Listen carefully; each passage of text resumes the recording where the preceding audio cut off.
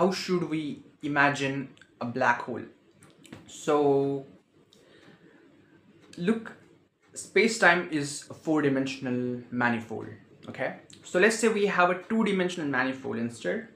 Now a hole in a two-dimensional manifold is a two-dimensional hole okay? So it has its length it has its breadth okay? We call it radius whatever we call it but it's a two-dimensional thing okay? It has its length and breadth. Maybe a diameter is two diameters of a circle so uh, it's a two-dimensional thing. Now a hole in two-dimensional paper is two-dimensional. A hole in 3d space so is a three-dimensional sphere. But our universe is a four-dimensional space-time.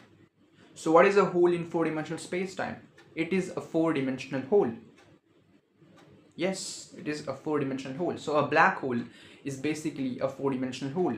It's not just a you know a, it's not just a hole in space but it's also a hole in time. So a black hole is basically a four-dimensional hole. It's not just 2d it's not just 3d it's a four-dimensional hole. So yeah